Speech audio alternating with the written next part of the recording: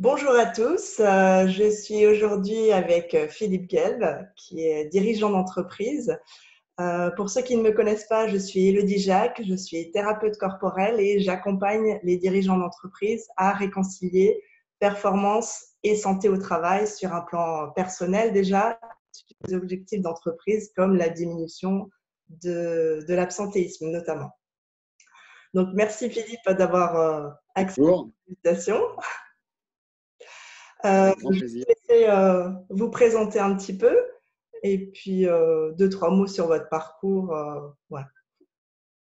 D'accord, bah, écoutez, je m'appelle Philippe Gabe, j'ai 50 ans. Là, vous allez me dire, je ne les fais pas. Bah, Dites-le, Elodie. donc, donc, voilà, donc effectivement, bah, j'ai 50 ans. mon meilleur ami me définit comme mon projet d'entreprise et mon projet de vie, c'est d'être passé en fait de la salle de bain à la cuisine. Pourquoi? Parce qu'en fait, j'ai travaillé dans un premier temps en fait, chez L'Oréal, dans une grosse entreprise qui me permettait en fait d'avoir les basiques et euh, les outils en fait euh, de, la grosse entreprise. Et après, en fait, je suis rentré dans une plus petite PME, donc euh, d'origine allemande, qui s'appelle BK. On vend en fait des ustensiles de cuisson, des poêles, des casseroles, des fétous, des traiteurs en inox et en aluminium. Et en fait, je dirige en fait cette petite filiale en fait France. Et je cherchais en fait un, on va dire un groupement de personnes humaines sur un projet que je pouvais emmener à taille humaine et à échelle humaine, entre guillemets, pour pouvoir en fait, euh, voilà, euh, me, développer et développer en fait l'entreprise de façon en fait sur une structure, on va dire, un petit peu plus euh, réduite, mais on va dire basée en Alsace, parce que voilà, j'adore l'Alsace et j'avais pas envie de déménager, on va dire, dans une autre région. Et, et c'est ce projet-là qui a fait que maintenant j'y suis resté 20 ans. 20 ans en fait de passion, de management, et ça fait 20 ans en fait que je suis entreprise. On me l'aurait dit il y a 20 ans, je l'aurais pas cru. Et en fin de compte, ce qu'il y a d'extraordinaire, c'est que 20 ans après, ben voilà, je suis euh, toujours aussi euh, motivé, mobilisé euh, par ce projet d'entreprise, car les gens qui m'entourent m'apportent aussi, on va dire, cette énergie pour pouvoir avancer et se développer de façon, on va dire, extrêmement forte. Et l'entreprise, d'une image, on va dire, on va dire assez, assez restreinte, on en a fait en fait maintenant une entreprise voilà, visible et lisible de, de, plus en plus en fait, de la part de, des consommateurs et des consommatrices sur le, sur le marché français, voire dans le monde entier. Bon, on, sent, on sent de la passion en tout cas, hein, ça fait plaisir. Exactement, et si on me l'avait dit il y a 20 ans, parce que bon, autant que j'ai choisi L'Oréal parce que c'est une entreprise française, j'adore la cosmétique, euh, euh, et voilà, donc c'est ce qui m'a fait rentrer en fait dans, dans un grand groupe comme L'Oréal. On m'aurait dit il y a 20 ans que je serais passionné en fait d'ustensiles de cuisson, je ne l'aurais pas cru, parce que je ne suis pas spécialement cuisinier au départ, mais mm. en fin de compte, ce qui m'a passionné énormément, en fait, c'est euh, le, voilà, les gens qui m'entourent. Moi, le management, c'est ma passion. Les produits le sont devenus par la force des choses. Et maintenant, effectivement, ce qu'il y a d'extraordinaire, c'est de voir en fait cette petite entreprise se développer, grandir, on va dire, au regard en fait de, de, bah, déjà de, l'entreprise, du personnel et des consommateurs et des consommatrices qui, euh, voilà, qui, qui nous aident à nous développer. Donc, effectivement, beaucoup de passion. Et euh, voilà, la vie de l'entreprise, c'est passionnant, l'humain, c'est passionnant, et c'est ce qui m'anime en fait au quotidien. Bah, ça se sent en tout cas. Puis c'est vrai que l'entreprise, euh, voilà, on n'en parle pas toujours, on parle souvent du côté financier, mais c'est avant tout une formidable aventure humaine. Quoi. Et là, on... d'abord, ouais, c'est d'abord une aventure humaine. Et moi, je suis rentré en fait chez BK pour, pour, cette aventure humaine. Je suis resté au début, euh, pour la petite anecdote, en fait, euh, on m'avait vendu en fait une entreprise et, euh, avec quelque chose de plutôt, on va dire, euh, extraordinaire et ça n'a pas été au début. Et c'est, on va dire, l'alliance entre ben, les discussions que j'ai eues avec mon personnel qui m'a aussi, entre guillemets, donné envie de rester et de se développer, de me battre en fait pour, pour, pour, pour ces gens-là. Et je ne le regrette pas une seule seconde. Et euh, dans tout ça, justement, vous parliez euh, voilà, des, personnes avec qui vous travaillez. Quelle est euh, aujourd'hui la place du bien-être dans votre entreprise, puisque c'est un peu le sujet du moment depuis la reconnaissance du burn-out par l'OMS Exactement. Alors bon, j'ai mon meilleur ami d'ailleurs qui, est un spécialiste dans le, justement dans le bien-être et la performance, avec qui, avec qui je travaille, on va dire, régulièrement, et qui a fait une étude en fait très intéressante en fait sur le bien-être et la performance. Et je le rejoins parfaitement en train de dire voilà, euh, on parle de plus en plus en fait de bien-être. Et alors, le bien-être, ça peut être, euh, je sais pas moi, un sauna, une piscine, un baby-foot dans l'entreprise. Et, effectivement, vous allez motiver en fait euh, votre personnel par ce bien-être un certain temps. Par contre, je pense que quelque part, si vous le mobilisez, parce qu'il y a une grande différence entre la motivation et la mobilisation, la mobilisation s'inscrit dans la durée, si vous voulez le mobiliser, en fait, je pense que c'est l'inverse, c'est-à-dire que c'est la performance qui va en fait pousser en fait le bien-être des collaborateurs dans l'entreprise.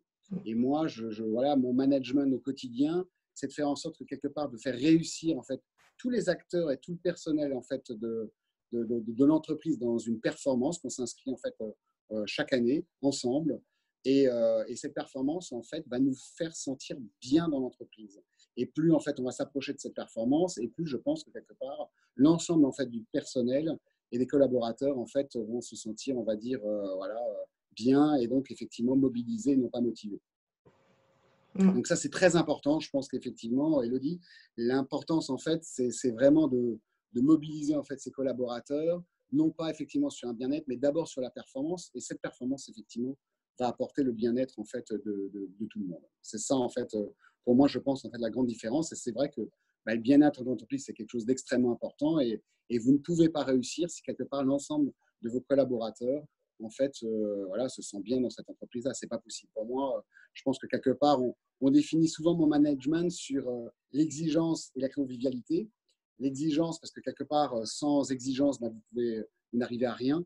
Donc, il faut être exigeant avec soi-même d'abord et avec ses collaborateurs, mais aussi et surtout avec de la convivialité. Si vous n'avez pas de plaisir, si vous n'êtes pas tous les matins, en fait, avec voilà, le sourire, la banane et l'envie d'aller travailler, ça ne peut pas fonctionner.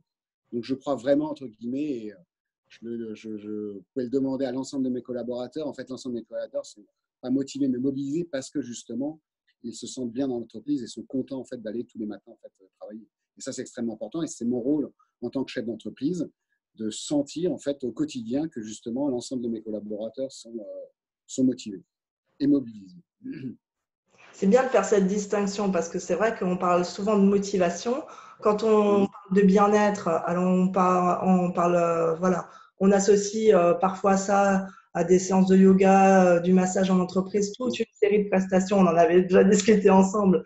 Voilà, que je trouve aussi euh, importante, mais je, que je classifie plus dans la prestation de service, comme euh, bah, dans certaines grandes entreprises que j'ai vues à l'international, mettraient un service de pressing ou voilà des petits plus aux salariés.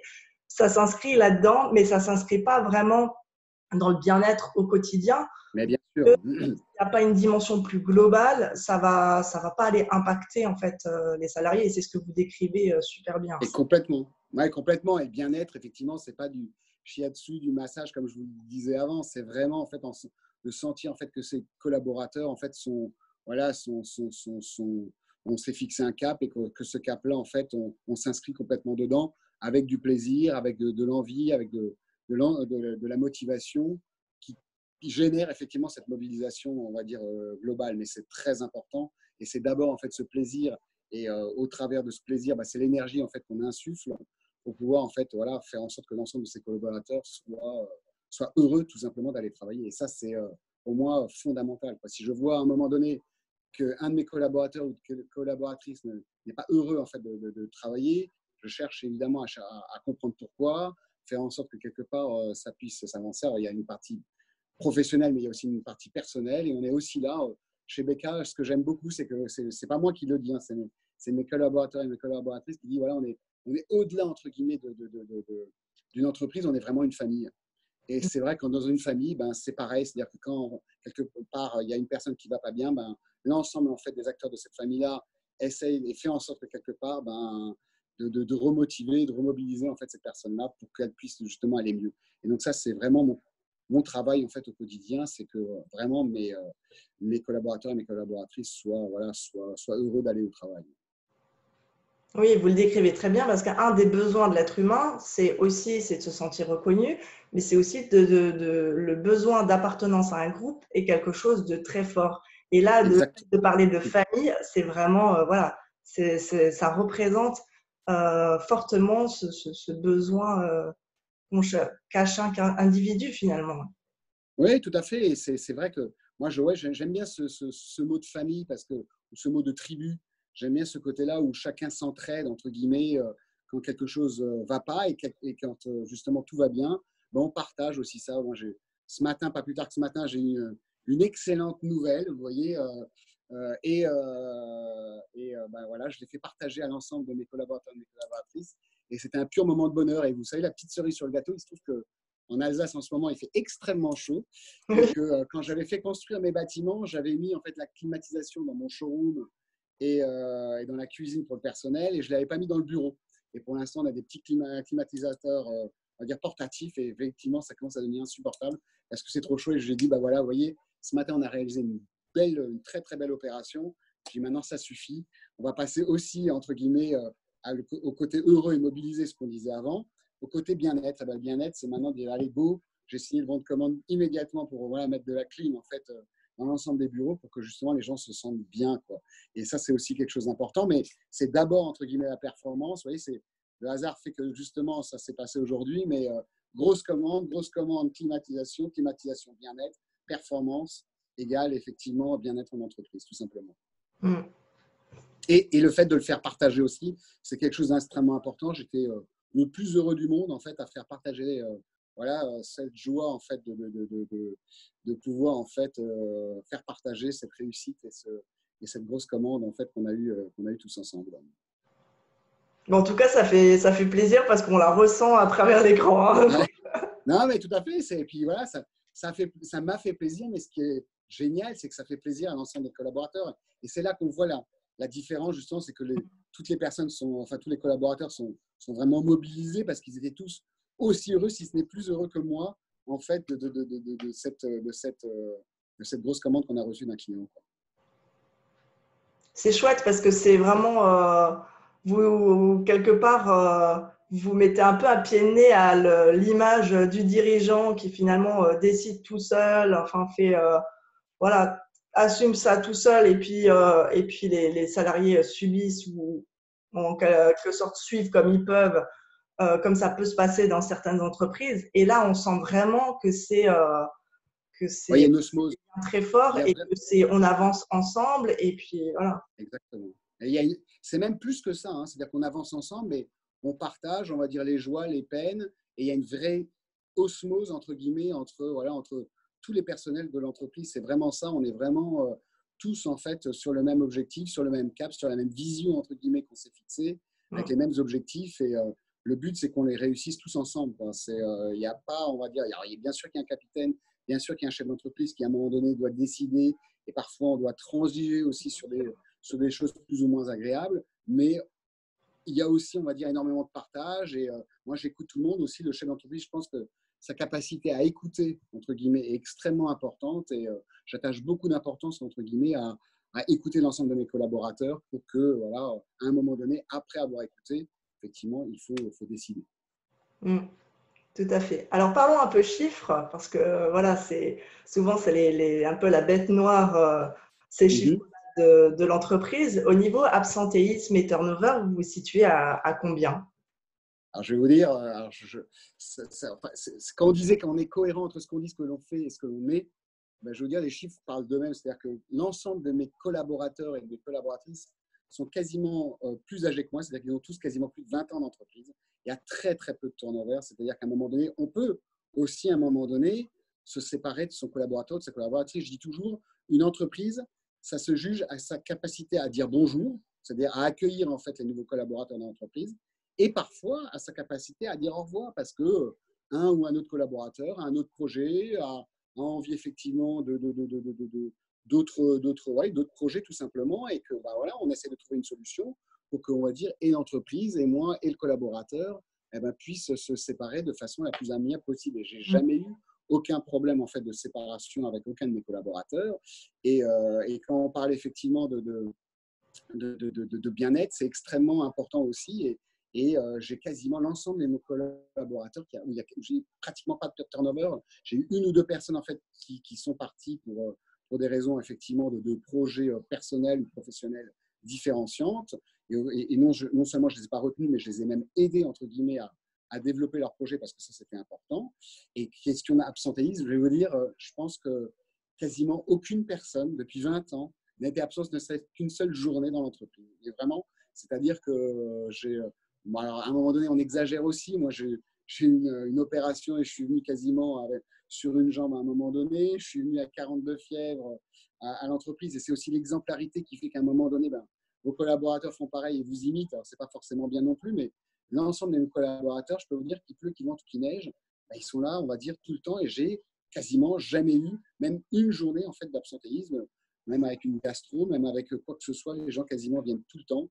Et euh, bah, c'est le reflet, pour moi, c'est le, premier reflet, on va dire, de, ce que l'on dit en fait entre justement le bien-être euh, et la performance dans l'entreprise. C'est-à-dire qu'en fait, si vos collaborateurs vous quittent régulièrement, eh ben, c'est déjà un indicateur important. Et le fait effectivement qu'il y ait un absentéisme important est un deuxième indicateur important. Et ces deux indicateurs, en fait, bah, chez BK France, je peux vous assurer qu'ils sont, euh, euh, euh, optimales. Donc ça, c'est vraiment aussi important. Et pour moi, c'est un indicateur effectivement très important de voir la mobilisation en fait, de mon personnel. Donc, clairement, j'ai très hein. peu en fait, de, de, de, de turnover et j'ai quasiment pas en fait, entre guillemets, d'absentéisme. Alors voilà, je, je, pense aussi, voilà, vous inculquez en fait ça au quotidien. Et puis bon, voilà, j'ai un personnel effectivement assez extraordinaire qui me suit et qui, euh, qui, euh, qui, est né effectivement jamais quasiment malade. Oui, c'est ce qu'on disait, euh, ce qu'on s'était dit l'autre fois en aparté, que vous disiez que même pour des maladies qu'on qualifie, qualifie, de maladies de l'hiver, finalement, vous avez des collaborateurs qui tombent jamais malades ou quasiment jamais. Euh, et, c'est vrai qu'on peut se demander du coup le lien entre le bien-être au travail, mais le vrai bien-être au travail pour le coup, l'épanouissement que les, vos collaborateurs trouvent à, travailler pour vous, et euh, le lien alors qu'on peut se dire, euh, voilà, c'est des choses courantes d'avoir une grippe en hiver ou d'avoir... Exactement. Mm. Et ça l'est, et ça l'est. Et aucun de mes collaborateurs, si, si voilà, il n'était pas là, en fait, j'en retiendrai rigueur, bien au Bien au contraire, je leur dis toujours prenez soin de vous parce que c'est aussi quelque chose d'important. Et, le message n'est surtout pas, entre guillemets, de, de, faire venir mes collaborateurs même malades. C'est eux qui viennent en fait d'eux-mêmes et avec plaisir. Et alors là, on rentre sur un autre sujet, mais je pense que quelque part, euh, voilà, la, partie psychologique en fait est extrêmement importante pour moi sur la partie physique. Et, je pense qu'effectivement, un collaborateur, on va dire, euh, euh, voilà, heureux, bien dans sa tête, bah forcément on va dire, tombe très très peu malade. Et bon, ça arrive, hein, je veux dire, à un moment donné, une grippe, c'est viral, voilà, une gastro aussi, et donc on peut l'être. Mais malgré, on va dire, ces choses virales, j'ai un absentéisme quasiment nul. Donc je pense qu'effectivement, la partie, on va dire, état d'esprit est quelque chose d'extrêmement important sur la partie physique, mais là, je ne suis pas médecin et je ne vais pas interférer dans ce, dans ce genre de sujet. Bah là, euh, je ne peux que vous rejoindre sur la partie état d'esprit. Hein. Ça, c'est clair que ça a un impact. Euh. Ah ouais, j'en suis intimement convaincu. Je pense que quelque part, euh, les gens qui sont bien dans leur tête, comme par hasard, sont très peu malades. Et, et je pense que c'est effectivement quelque chose, en tout cas, de très important. Il ne faut pas généraliser non plus, bien sûr, mais en fait, c'est quelque chose, en, tout cas, de très important dans dans sur, sur la partie physique. Et justement, j'avais envie de vous demander si voilà, si c'était des choses qui avaient été compliquées à mettre en place ou est-ce que vous avez partiellement répondu euh, tout à l'heure en disant que c'est aussi une vigilance de tous les jours de, Exactement. s'il y a l'un ou l'autre qui a un peu une baisse de forme ou qui se sent un peu moins euh, mobilisé pour le coup. Euh. Mmh. C'est pas entre guillemets quelque chose en fait entre guillemets qu'on met en place parce que je pense qu'effectivement le management c'est pas une fonction, c'est vraiment un état d'esprit. Euh, et, quelque part, c'est quelque chose que vous faites au quotidien, tous les jours.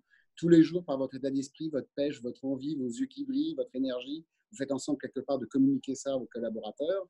Et forcément, si à un moment donné, vous venez euh, en étant triste ou en faisant la tronche, bah forcément, vos collaborateurs, à un moment donné, vont dépeindre sur vous. C'est la même chose avec vos enfants. Vous savez, je dis, je pense que quelque part, le management, il se fait avec, euh, avec bah, forcément avec vos collaborateurs, mais aussi au sein de votre famille et aussi évidemment avec vos enfants. Et je pense que voilà, euh, euh, c'est vous dépeigner complètement, entre guillemets, qui vous êtes sur euh, les gens qui vous entourent. Et ça, c'est extrêmement important. Et, et non, ce n'est pas quelque chose que j'ai mis en place, c'est quelque chose que j'ai fait de façon assez naturelle et mmh. que j'ai expérimenté. Et, et, de par qui je suis, entre guillemets, ben, je me suis rendu compte que quelque part, ça avait un impact en fait sur mes collaborateurs. Et, et je l'ai au contraire accentué. J'ai fait en sorte quelque part d'être vraiment à l'écoute de mes collaborateurs, de faire en sorte que, que, que, que, si jamais il y a quelque chose qui ne va pas, ben, on essaie de tous trouver une solution, d'abord moi, et puis ben, si jamais c'est euh, quelque chose en fait de, qui, qui impacte en fait l'ensemble de l'entreprise, ben, de, de, de, le régler, on va dire, euh, de façon collégiale. Bah, vous répondez à ma dernière question, à savoir euh, bah, voilà, si vous aviez un dernier conseil à, à, donner à un dirigeant d'entreprise qui se trouve aujourd'hui en difficulté par rapport, euh, qui, qui n'arrive pas à désamorcer les conflits ou qui, qui, se retrouve vraiment en difficulté par, par rapport à l'absentéisme ou au turnover, vous en avez bien répondu, quoi, de, voilà, de se dire que c'est c'est un état d'esprit déjà du dirigeant. C'est un état d'esprit, mais après, euh, on, on, est tous, on, a tout, on est tous confrontés à des, à des choses compliquées. Je pense qu'à un moment donné, on a tous aussi, euh, on va dire, des joies, des peines, et puis des, des moments où quelque part, ça, ça nous, on pense que c'est plus compliqué que d'autres. Et je pense que voilà, là où vous avez raison, vous le disiez à un moment donné, on se retrouve des fois aussi seul. Et moi, j'ai besoin, entre guillemets, de mes collaborateurs comme mes collaborateurs ont besoin de moi. Et souvent, bah, je ne me retrouve pas seul. Moi, je dis, je suis jamais seul. Souvent, j'entends la problématique des, chefs d'entreprise qui sont seuls. Moi, je dis que je suis jamais seul parce que quelque part, j'ai ma famille qui est autour de moi. Et, euh, et quand j'ai un souci, c'est vrai que j'ai aussi besoin, entre guillemets, de communiquer. Et je communique et on, avance ensemble. Et certains collaborateurs peuvent se retrouver euh, dans des difficultés. un chef d'entreprise, on disait aussi, peuvent se retrouver en, difficulté. On a aussi besoin, entre guillemets, de se former. Ça, j'ai aussi euh, appris il y a peu de temps. Je me suis très peu formé pendant des années. Je le regrette amèrement, mais maintenant, je, je, je, me forme au quotidien et euh, je pense que la formation aussi est quelque chose d'important, non seulement pour ne pas se sentir seul, mais aussi pour comprendre en fait euh, voilà, les mécanismes de l'humain, parce que l'humain est faible, complexe et merveilleux, mais mm. faible et complexe aussi, parce que faible parce qu'on vient, on y va souvent au plus facile, complexe parce que quand on croit qu'on a compris, ben on n'a pas forcément compris, c'est très complexe l'humain, mm. et merveilleux parce que je pense qu'effectivement dans chaque humain il y a quelque chose de merveilleux, et, euh, et c'est à nous en fait de sublimer ce côté merveilleux de chaque de chaque personne. Et ça, c'est vraiment extrêmement important. Bah, écoutez, ça fait un beau message de fin. Voilà, j'espère en tout cas. Merci euh, beaucoup d'avoir pris le temps euh, voilà, de, de répondre plaisir. et de partager votre expérience voilà, qui pourrait servir à, d'autres dirigeants d'entreprise. Avec grand plaisir en tout cas. Bah, je vous souhaite une belle continuation avec euh, Becca France. Et puis, Merci beaucoup. Merci beaucoup, Elodie. Merci de m'avoir interviewé. Et puis, comme dit, je, je reste à votre disposition quand vous le souhaitez. Avec plaisir. Merci Philippe. Merci à vous.